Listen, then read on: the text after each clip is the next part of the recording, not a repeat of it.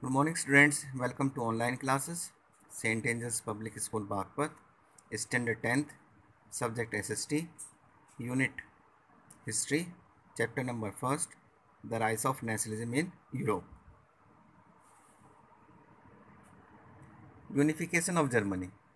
Before the Napoleonic conquest, Germany, like Italy, was nearly a territorial entity. It was divided into more than 300 states.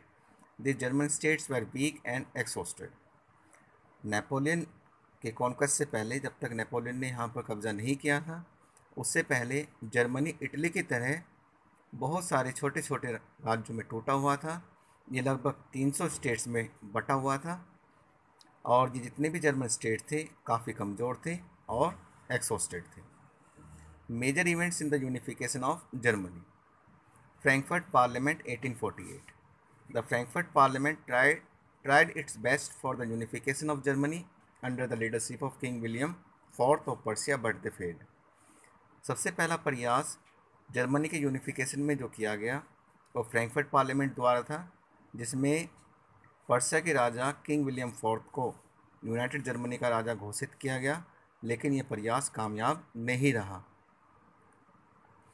unification under the leadership of Persia The liberal initiative to nation building was, however, repressed by the combined forces of the monarchy and the military, supported by the large landowners called Junkers of Persia. Liberal समुदाय के लोगों द्वारा जो Germany को एक करने का प्रयास किया गया उसका विरोध राजा सेना और जो बड़े बड़े ज़मींदार थे उन्होंने किया और लिबरल लोगों का जो प्रयास था वो कामयाब नहीं हो सका from then on Persia took on the leadership of the movement for national unification इसके बाद जर्मन के, जर्मनी को यूनिफाइड करने की ज़िम्मेदारी पर्सिया ने अपने कंधों पर ले ली। Its chief minister Otto von Bismarck was the architect of the process carried out with the help of the Persian army and bureaucracy Germany के यूनिफिकेशन का जो मुख्य आर्किटेक्ट था, वो था ऑटोवन बिस्मार्क जो पर्सिया का मुख्यमंत्री था। और इसने पर्शियन आर्मी और ब्यूरोक्रेसी की मदद से इस काम को पूरा किया। Role of Bismarck. Bismarck was one of the greatest son of Persia who accomplish the supreme task of unification of Germany with the help of army bureaucracy Bismarck Persia का एक महान पुत्र था, जिसने जर्मनी के यूनिफिकेशन के मुश्किल कार्य को आर्मी और ब्यूरोक्रेसी की मदद से पूरा किया। He was convinced that the unification of Germany could be achieved only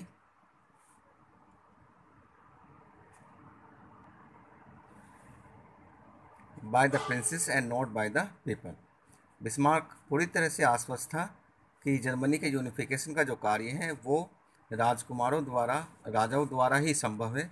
ये आम जनता द्वारा पॉसिबल नहीं है। He wanted to achieve the same by not merging Persia into Germany, but rather by expanding Persia into Germany. Bismarck Germany के unification को जो हासिल करना चाहता था उसमें वो पर्सिया को जर्मनी में जोड़ना नहीं चाहता था बल्कि पर्सिया को पर्सिया का विस्तार पूरी जर्मनी में करना चाहता था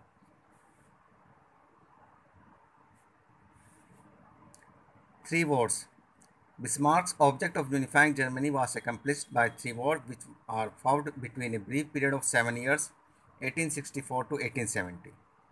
तो बिस्मार्क ने जर्मनी के यूनिफिकेशन का जो लक्ष्य हासिल किया वो लड़ाइयाँ लड़ के किया और इसमें ख़ास तौर से तीन लड़ाइयाँ प्रमुख हैं जो लगभग सात साल के टाइम पीरियड के दौरान की गई सबसे पहली लड़ाई the war of Austria and Prussia against Denmark. सबसे पहला युद्ध ऑस्ट्रिया और पर्सिया ने साथ मिलकर लड़ा और ये युद्ध था डेनमार्क के खिलाफ। ये युद्ध हुआ 1864 में। सेकंड ऑस्ट्रो पर्सियन वॉर 1866 इसके बाद दूसरा युद्ध ऑस्ट्रिया और पर्सिया के बीच में हुआ। ये हुआ 1866 में। Third, the Franco Prussian war, तीसरा युद्ध फ्रांस और पर्सिया के बीच में हुआ और ये युद्ध हुआ 1870-71 वन में।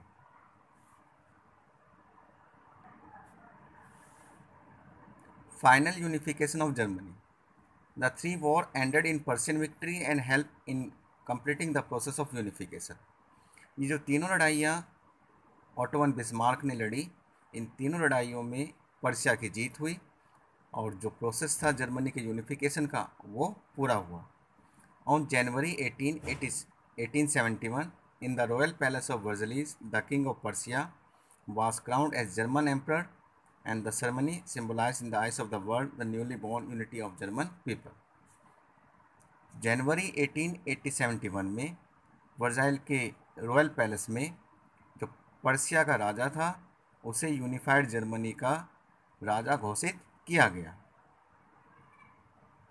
the nation building process in Germany had demonstrated the dominance of Prussian state power ये जो यूनिफिकेशन हुआ है जर्मनी का, इस यूनिफिकेशन में जो प्रभाव देखने को मिलता है वो पर्शियन स्टेट का है।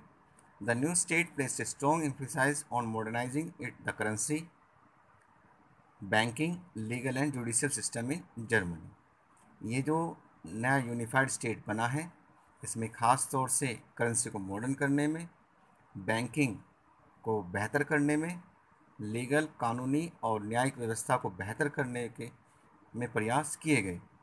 Prussian measures are and practices often become a model for the rest of Germany.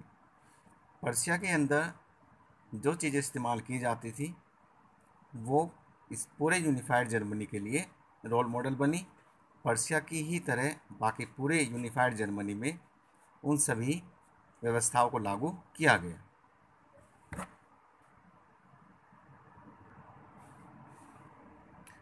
Unification of Italy like Germany Italy too had a long history of political fragmentation जैसे जर्मनी का इतिहास है, उसी तरह से Italy का इतिहास भी है। इटली भी बहुत सारे राजनीतिक राज्यों में बटा हुआ था।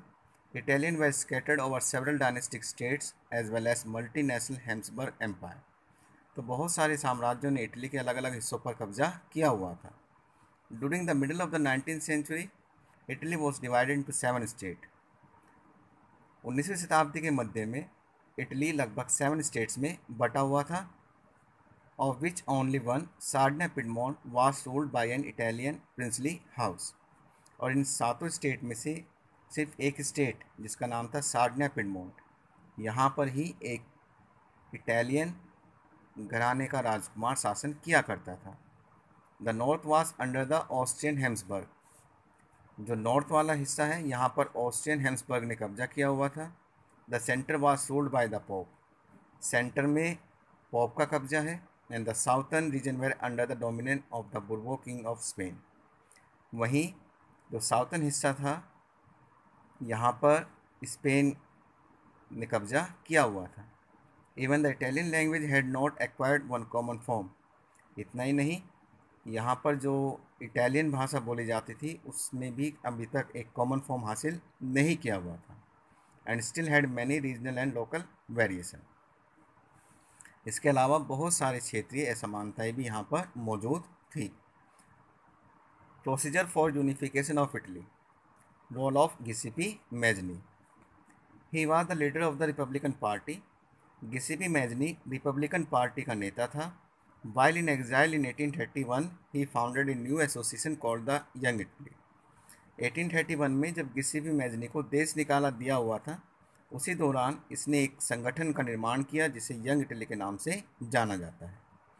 It was a secret society ये एक गोपनीय संगठन था which was form to bring about regeneration of Italy through education दो There were two revolutionary uprisings, one in 1831 and other in 1848 for the unification of Italy, but they both failed. हालाँकि Italy को unified करने के लिए एक बार 1831 में प्रयास किया गया विद्रोह हुआ एक बार 1848 में। लेकिन दोनों ही प्रयास इटली के यूनिफिकेशन के कामयाब नहीं हो सके। We will discuss the chapter further in next online class till then stay connected have a nice day Thank you.